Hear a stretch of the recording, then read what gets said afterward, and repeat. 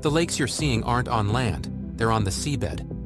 But these are death pools, which are deadly traps for any creature unfortunate enough to swim in. These lakes, known as brine pools, are formed when large amounts of salt cannot dissolve in seawater, where they will converge and settle on the seafloor, creating separate brine pools.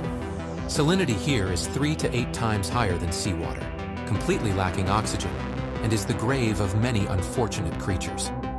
Although it's an extremely dangerous death trap that has caused many creatures to die here, there are still creatures that recklessly rush into this place to feed.